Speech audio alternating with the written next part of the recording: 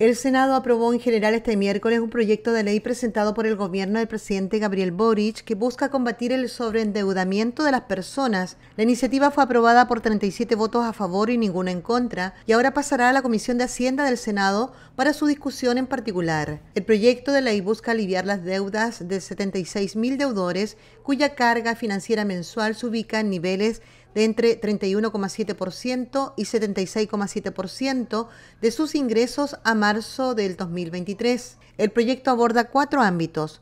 Modifica los programas vigentes del Fondo de Garantías Especiales, FOGAES, Vivienda y Construcción.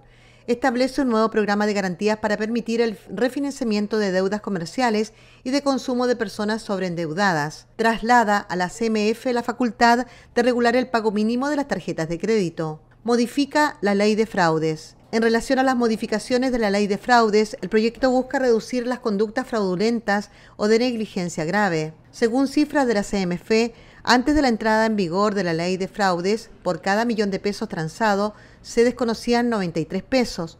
Luego de la ley, esa proporción aumentó. Por cada millón transado, 587 pesos fueron reportados como desconocidos. El proyecto de ley también crea el programa de garantías de apoyo al sobreendeudamiento que tiene por objetivo que las instituciones financieras puedan refinanciar la deuda de las personas que posean un alto nivel de endeudamiento. Este programa estará disponible durante un año y las personas podrán postular si cumplen con varios requisitos, como que el total de la deuda de consumo comercial sea seis veces superior al total de los ingresos mensuales de la persona, sin considerar un crédito hipotecario y 70 veces superior si se cuenta el hipotecario. Finalmente, el proyecto de ley también otorgaría a la CMF la facultad para definir una fijación de pago mínimo en las tarjetas de crédito que genere efectos positivos en las finanzas personales de los consumidores.